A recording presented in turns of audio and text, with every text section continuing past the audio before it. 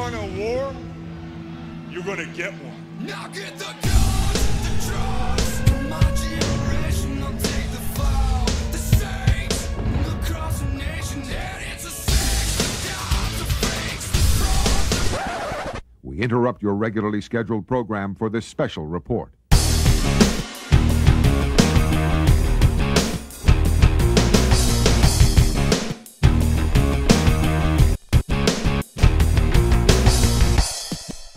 I was up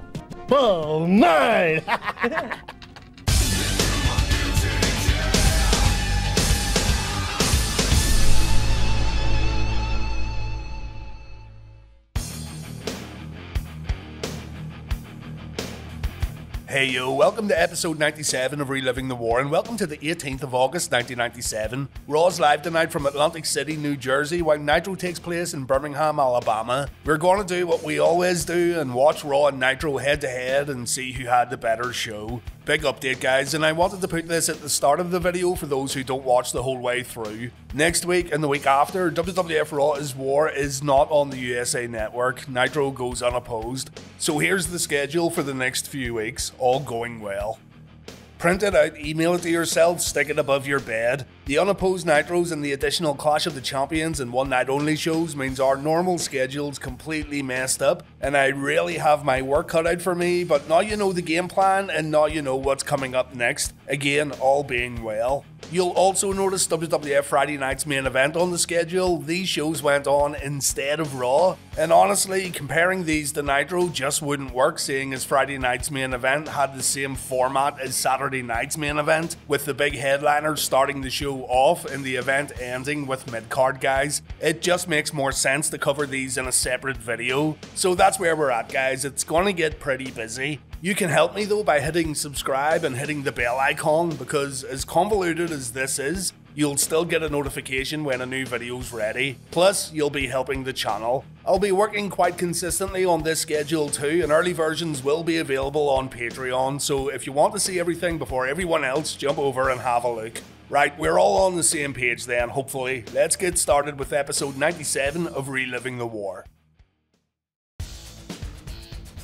Nitro opens up with a video of Raven talking about Raven things. He's banging on about his father never loving him, how he's misunderstood, destroying everything that's beautiful, and shutting yourself off from society. Thanks, Raven. Tony Schiavone announces a tag team main event at the beginning of Nitro The Outsiders versus Lex Luger and DDP. We're also going to see The Giant versus Curt Hennig tonight. Over on the USA Network, this is the final Raw before Ground Zero in your house, even though the event takes place on September 7th. So it's going to be interesting to see the final Monday night hype for a pay per view that's still weeks away. We start off with a Rick Rude promo on Raw while WCW put on a Road Wild rematch Vicious and Delicious versus Harlem Heat. You want to start with Rick Rude, don't you? Me too. Rick gets in the ring, he orders his theme music to get cut, and he'd like all these fat, out of shape Atlantic City sweat hogs to button their lips and open their eyes. It's time to hear what a real man has to say. Vince McMahon wants Rude to discuss his new role in the World Wrestling Federation. Rick says he's an insurance salesman, short term, long term, life accidental. You supply the buck, Rick Rude supplies the bang. Rick Rude was paid a handsome sum for his services last week. You can never have enough insurance. And Rude doesn't let us know if it was Triple H or Shawn Michaels who paid the fee last week. McMahon says this is the oldest racket in the book. Rude is simply offering protection for money. And Rick says to get the premium, you got to pay the premium. It's kick or be kicking. If you have the funds available, then someone's in for a rude awakening. Good stuff. Nothing given away here in terms of Rick's true motivations. It just seems like he's a henchman for hire, and HBK benefited from his services last week. It's great to see Rick Rude back on TV here, though, and I'm looking forward to seeing more of his short WWF run in the coming weeks. This is the first of two Road Wild rematches we're getting this week on Nitro. Harlem Heat defeated Bagwell and Norton at the pay per view, so let's see how things turn out here. The lovely Jacqueline brings Harlem Heat to the ring while the lovely Vincent's here with Buff and Norton. Buff Daddy wants to pose a little before locking up with big Stevie Ray. Stevie ends up performing a hip toss, and Buff, in the most animated fashion possible, accuses Stevie of grabbing the tights. Look at this. Bagwell then pulls off a hip toss of his own, and as always, he impresses himself more than anyone in the arena. Man, I do like Buff Bagwell. Stevie hits Buff with a falling power slam before tagging in Booker. Buff quickly tags in Norton, and Big Flash takes Booker out with a jumping shoulder block. Booker replies with a spin kick. Stevie comes back in, but Buff Bagwell lends Norton a hand from the outside. Some awfully bad timing next when Vicious and Delicious go for a double back elbow and Bagwell steps forward too early, making Norton completely miss the move. Bagwell misses an elbow drop, so in comes Booker T to clean house. Booker hits a Death Valley driver on Bagwell, but Norton breaks the pin. All four men get in the ring, and then we get an incredibly flat finish. Bagwell and Norton get DQ'd when Vincent jumps on the apron, just when things were getting good. Booker T again cleans house, he takes out everyone, including Vincent, and that's your Nitro opening match. Over on Raw, Sergeant Slaughter and Shawn Michaels are having an argument backstage. Old Sarge was caught with HBK's fanny pack, and Shawn's like, Yo, you owe me some money, homeboy. On Raw, we have Owen and Davey taking on LOD. WCW presents The Barbarian versus Mortis. Look at the crowd signs at Monday Night Raw. It looks brilliant on TV, but I'm not sure I'd be too happy sitting in the audience with a big Andy 316 sign in my face all night. Fuck Andy. Someone has a real beef with Kmart too. Do you want to hear something really upsetting though? This is the last time we'll see Owen and Davey tag up on WWF Raw. They do have the upcoming Fatal 4 Way match at Ground Zero, which the WWF are still promoting Steve Austin for. But yeah, get ready to say goodbye to Owen and Davey as a tag team on Reliving the War. They go out in style here though. Owen and Animal started off, and initially the Road Warrior gets the best of the King of Hearts. Hawk then hits a neckbreaker on Owen, but he finds himself on the outside after hitting the ring post shoulder first. And now it's time for Davey to shine. Bulldog does some damage at the ring steps, allowing Owen to hit a backbreaker. Davey gets tagged in, he lands a vertical suplex, snapmare, and boom. Davy Boy Smith Chinlock. Davey threatens the fans in the audience with chin locks, and here's hoping Andy 316 gets taught a lesson in the deadly arts of chin fu. Also, chin locks in a tag match, Davey never stops surprising us. Owen comes back in and he hits a second rope elbow drop. We see some classic heel double team action. Bulldog comes back in and he and Hawk go down after a double clothesline. We get Owen and Animal again in the ring and Owen goes down after a back body drop, but he replies with a spinning wheel kick. He goes to the top rope, but Animal catches him with a power slam, and then the Godwins show up. Yay. Animal gets whacked with a slop bucket, but this allows Owen to successfully pin the Road Warrior. Owen and Davey win their last match together on Raw. We get a brawl with all three teams, but the crowd stays silent throughout. It's then announced that Shawn Michaels is gonna team up with Triple H tonight to face The Undertaker and Mankind. Just a few weeks back, this would have seemed like two very unlikely tag teams, but here we are. HBK says the WWF are still giving him the shaft. He wasn't supposed to face The Undertaker until Ground Zero, but Vince McMahon is feeding HBK to the Lions tonight. Shawn says he doesn't want nor need Triple H as a tag team partner, but if the WWF are so hell bent on painting Shawn in a corner, then the WWF will get what's coming to it. Ooh.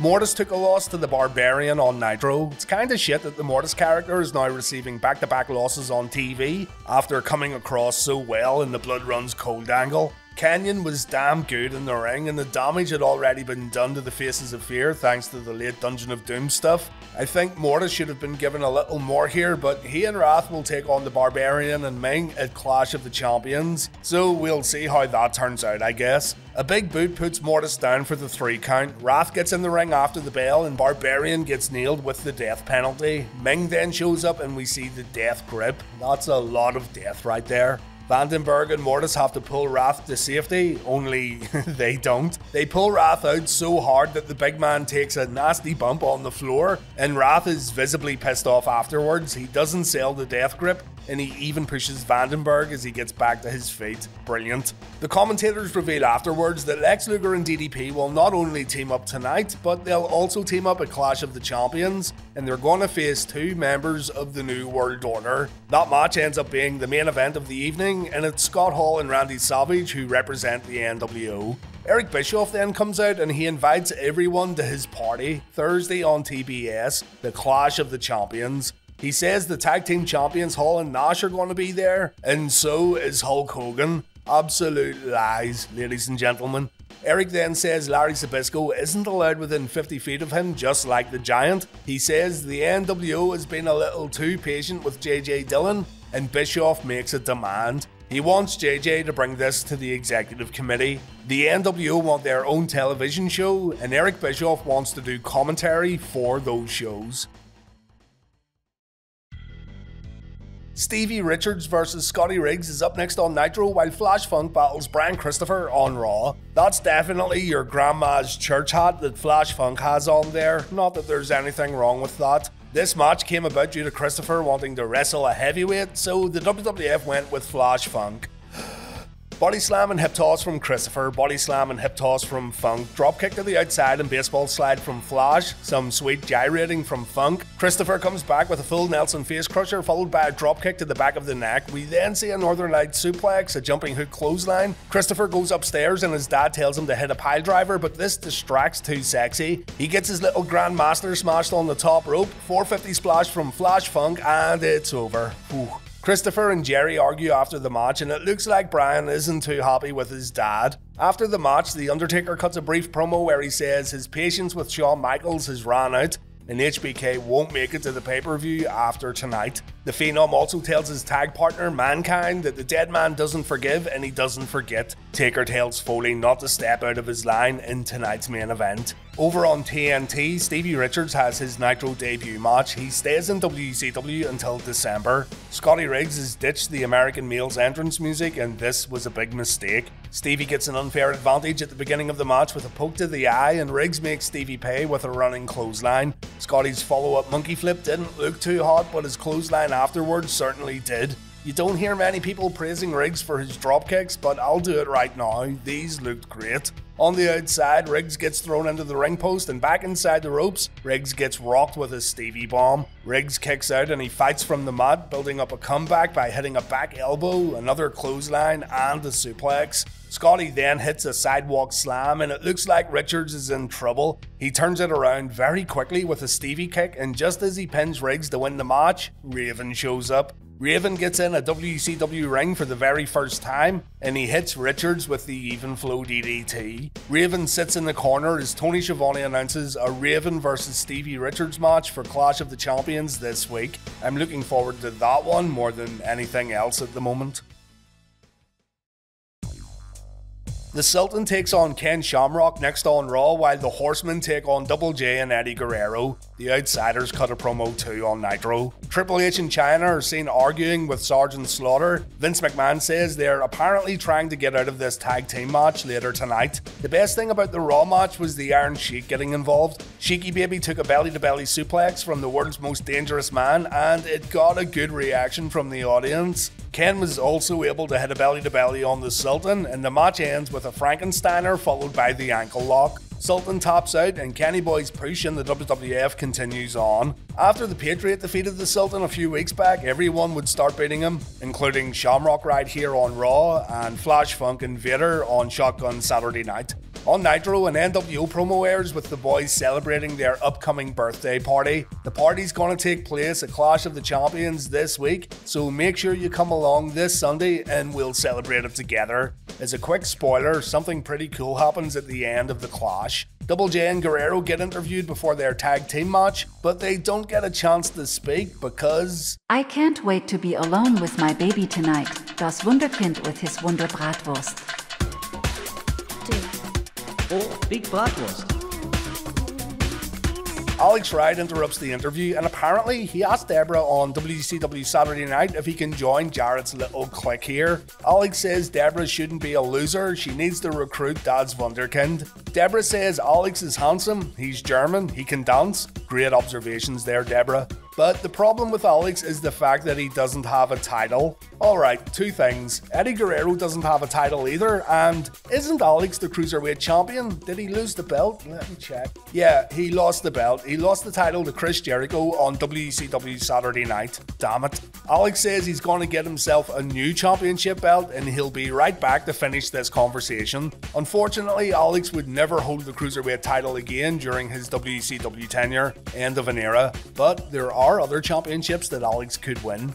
Mongo and Benoit defeated Jarrett and Guerrero and Deborah dropped the US belt on the outside. Mongo picked it up and he smacked Jarrett with it, allowing Chris Benoit to score the pinfall win. The Outsiders then came out to cut a promo. Remember, Hall and Nash will take part in tonight's main event. Scott Hall says it's another sellout tonight. Everyone across America is watching TNT, and it's all for one reason. Everyone can't get enough of the NWO. Nash says Birmingham is most definitely NWO country. WCW's gonna send out two J Brones later, Luger and DDP, and the whole world is gonna find out why the NWO is just too sweet. Do you want to learn how to fight? Do you want to win world championships? Some would say the WWE Performance Center is the place to be. Others would say the New Japan Dojo is where you'll learn to bust heads.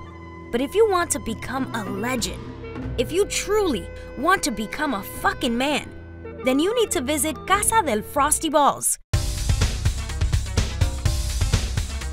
Grandmaster Sensei will teach you the art of ice cold kung fu. You'll learn chronic kicks, deadly punches, and of course, super cool special moves like the freeze attack and the ice slide. If you're too much of a little pussy wussy and you can't attend Casa del Frosty Balls for some intense training, then you can still grab a t shirt and pretend you've attended the dojo. Not only will people stop fucking you around when they see this sick shirt, but you'll also help Grandmaster Sensei pay his child support. Visit chinlocks.com today, get this shirt, and be the coolest dude in the neighborhood. Casa del Frosty Balls, where legends are born.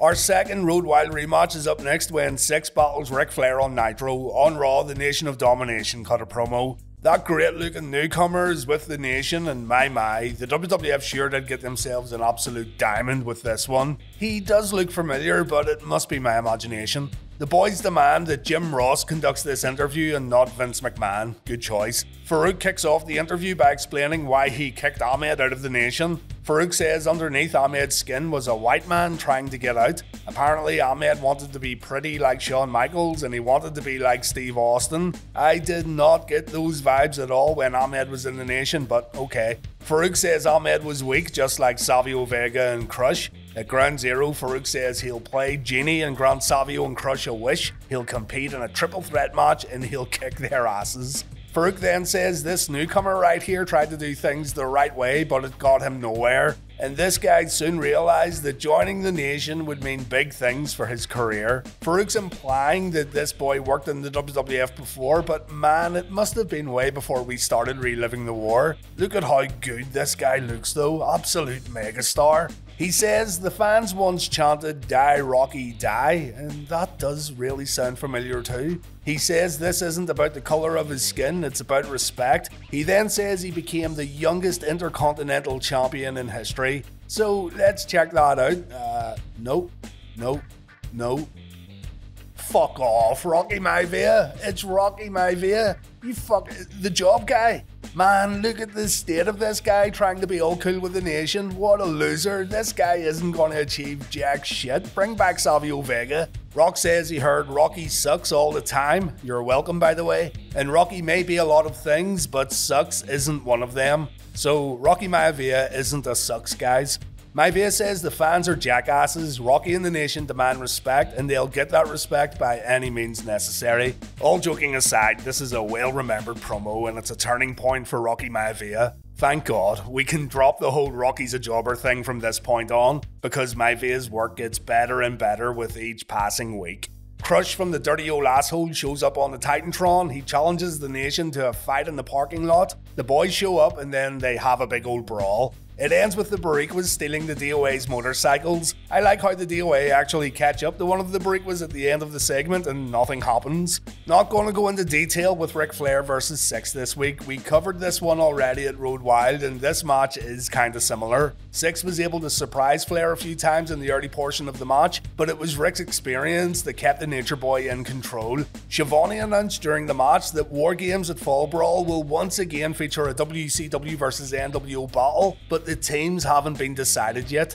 Syxx got another chance in this match thanks to some quick footwork, and Flair even took the Bronco Buster. The second attempt, though, was not successful. Flair softened up the leg, he went for the figure four, but then the NWO B team got involved. I'm still trying to work out exactly what happened here, but anyway. Flair gets jumped by Bagwell, Vincent, and Norton. Curt Hennig runs down to help Flair, and the NWO get out of the ring. After the bout, JJ Dillon and Nick Patrick get interviewed by Mean Gene. Dillon says that Patrick has publicly explained his decision to disqualify Rick and Scott Steiner at Road Wild, and after the WCW Executive Committee reviewed the tape, they all agreed that Patrick really had no other choice, so the matter is closed. Patrick feels the committee wasted their time because they should already know that Patrick is a fair referee based on his actions since leaving the NWO, but Patrick still thinks Randy Anderson's decision during the Road Wild main event needs investigated. Randy comes out and he says Nick has no right to point the finger at anyone. Dillon interrupts the referees by saying the interview is over.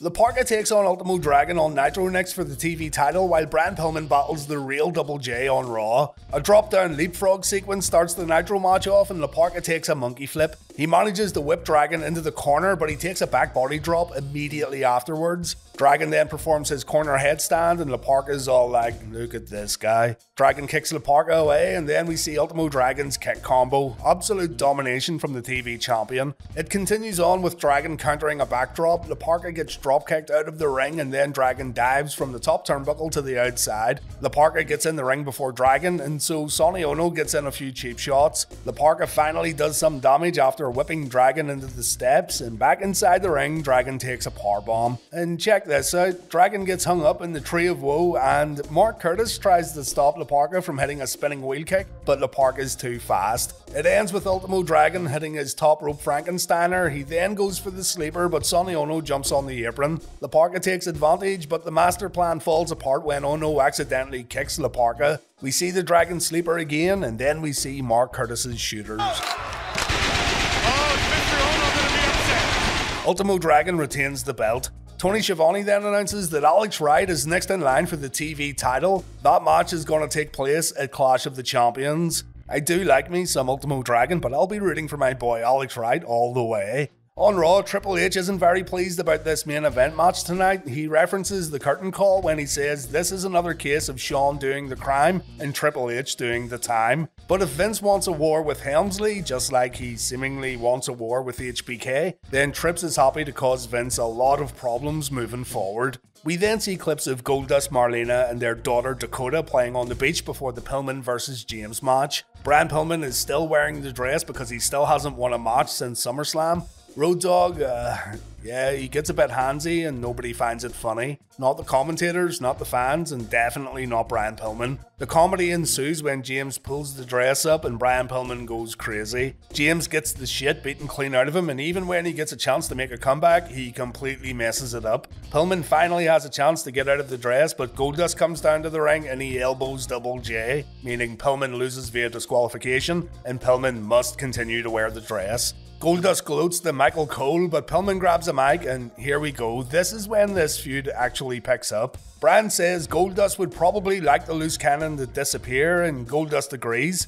Brand says if Goldust beats Pillman in a one on one match, then Brian will leave the World Wrestling Federation. But if Brian wins, then Pillman will get Marlena for 30 days as his personal assistant. Goldust says it ain't to happen. He won't put Marlena up as a prize. Pillman then lets Goldust in on a little secret. He says there's a big part of Brian around Goldust all the time because Dakota is Pillman's love child. Goldust dashes down to the ring while Brian says it was good a few times, and Marlena ends up accepting the challenge on Goldust's behalf. Goldust can't believe it and he wonders why Marlena is so eager to accept. Pillman just laughs as Raw moves on to its next match. Curt Hennig versus the Giant on Monday Nitro, the Patriot versus Vader on Raw's War. Curt starts the Nitro match off the right way by slapping that big stinky wart infested giant across the face. Check out Curtis's reaction to the slap afterwards. I'll never be able to say enough good things about this fine referee. Giant throws Hennig into the corner, but Curt stays on the big man with a few hard chops. He doesn't have the strength to whip the Giant though, so he takes a headbutt and he gives fans a glorious sale afterwards.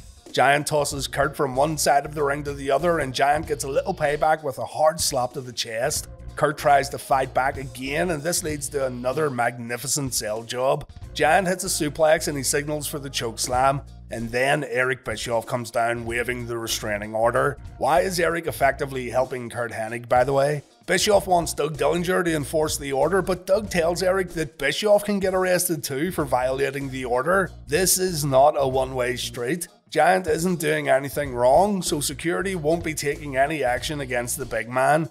Eric tries to walk back up the entranceway, but Larry Zbyszko shows up. There's nowhere for Bischoff to go except over the barricade.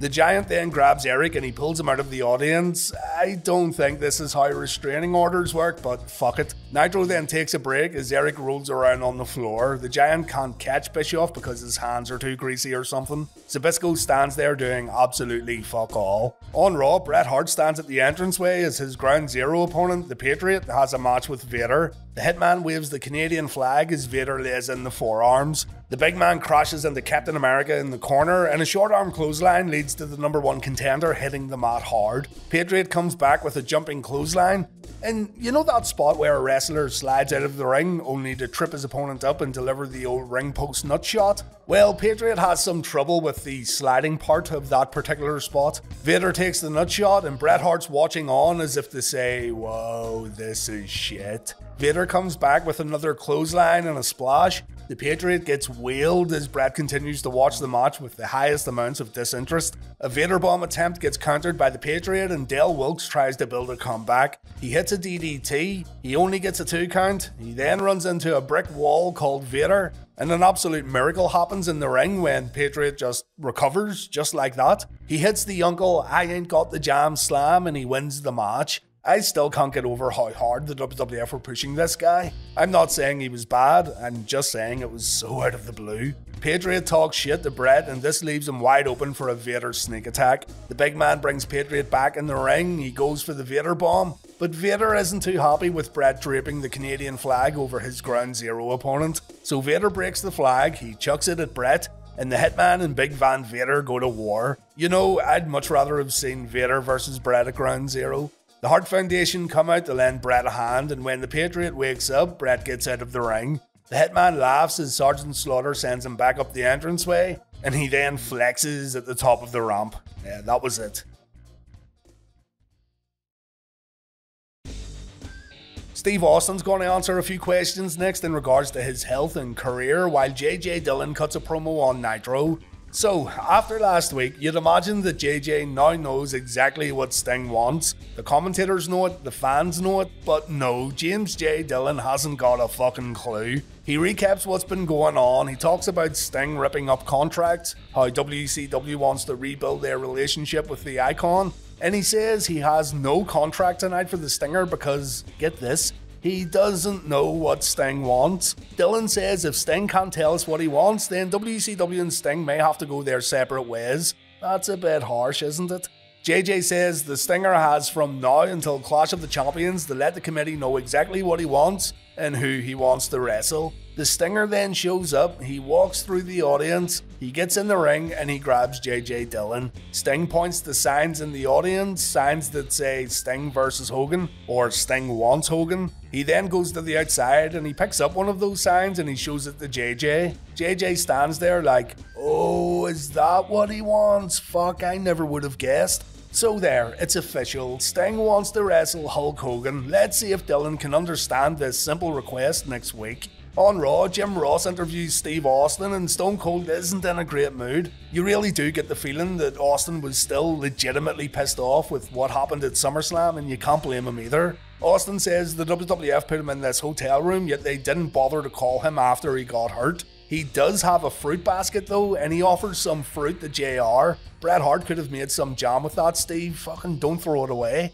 Steve says when he got dumped on his head, he couldn't move his arms or legs. It was scary. Doctors told Austin that he should maybe look at doing something else for the rest of his life and give up pro wrestling, but Stone Cold says that ain't gonna happen. Steve says he's seeing the top spine doctor in the country tomorrow, but it doesn't matter what he says. The bottom line is Stone Cold makes the final decision, and Owen Hart is still to get the shit kicked out of him. Stone Cold's words, by the way, not mine. Austin says he'll take a few weeks off. He got a bit depressed watching the SummerSlam match over and over again, but he sees his career continuing on. He's been doing this for eight years. The pile driver won't stop Stone Cold. It'll only slow him down. Austin says he's going to show up at Ground Zero. He doesn't know if he's going to compete. He doesn't know if he'll forfeit the WWF Tag Team Championship, but he will be at the show great promo here, and as mentioned, you can really sense Austin wasn't happy with his current situation. And again, who could blame him? Hunt this one down online though and give it a watch.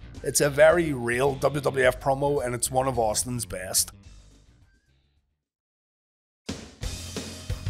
And we've reached the end of another episode of Reliving the War. We wrap it up with tag team matches, so called reluctant partners Shawn Michaels and Triple H versus Mankind and The Undertaker, and we have the Outsiders taking on DDP and Lex Luger. I reached out to you guys to come up with a name for the Luger and Page tag team, and let's see what we've got here. Lex does Dallas, DDP Yoga and Client, Bang Bros, Banged Package, Total Diamonds, The Diamond Package, Diamond Rack, Braun and Bang, the Stretch Express, Self High Five My Package, Positively Packed and Racked, Feel the Package, Jesus. The Package Cutter, Yoga Flex, the Lex Luger needs a new tag team partner after stinging the Giant, Bulking and Cutting, DDPY, Yoga Roids. DDP is such a nice guy, I can't think of anything derogatory to say about him. Totally positive, diamonds are for Luger. Flex ED, before and after Vegas, Save Me DDP, The Coal Mine, but I'm going to go with Total Bangers, suggested by Tim X on YouTube. Good job. Kevin Nash thinks the NWO theme song's a total banger as he grooves while walking down to the ring. And here we go, a star-studded main event tag team match on Nitro. Hall throws the toothpick in Luger's face and Lex replies with a slap. Hall's unfazed as the two go in for a lockup and Scott gets the better of Lex. Luger then brings Hall to the opposite corner and Randy Anderson has to break the two up. Hall pushes Lex, Lex pushes Hall right back. So Scott brings Luger to the outsider's corner and check this out. Don't you just hate it when that happens? Big Sexy gets tagged in, and what follows is a ton of time wasting. Lex starts putting up the diamond sign, and so does Nash because why the fuck not? Looks like the total bangers are popular in Birmingham. DDP and Nash then have a standoff or a sit off while the crowd goes absolutely nuts, but Page goes down after a knee strike. He comes back with a swinging neckbreaker that Nash took brilliantly, but a hard clothesline puts Page down again. DDP takes the big boot, Hall comes back in and he hits a fallaway slam. Nash then gets back in the ring and he stops Page from tagging out. The outsiders then begin cheating behind the referee's back. The audience is absolutely loving this match. They try to will DDP back into it during an abdominal stretch, and even Nash pays attention to how loud it's getting in the arena. But the outsiders are playing a smart game tonight on Nitro. Luger is so frustrated that he keeps distracting the referee, and this allows the outsiders to maintain their advantage. Hall slows it down with a sleeper and it stays locked in for quite some time. The audience again goes nuts when Page shows signs of life, but once again the tag gets cut off, and this is one of the better hot tag builds we've seen in a long time. DDP hits a fucking head scissors takedown, and then. That's wonderful. Basic, basic tag team wrestling, but if you do it right, it's so effective. Unfortunately, this is exactly where our match ends because the NWO hit the ring and it's a DQ finish. Uh, I know, right? Ric Flair comes down to help the total bangers, but check this out the giant hits the ring and Nash doesn't back down. The crowd pops, and my my. This is how Nitro ends. If you want to see more WCW action, tune in to Clash of the Champions later in the week on TBS.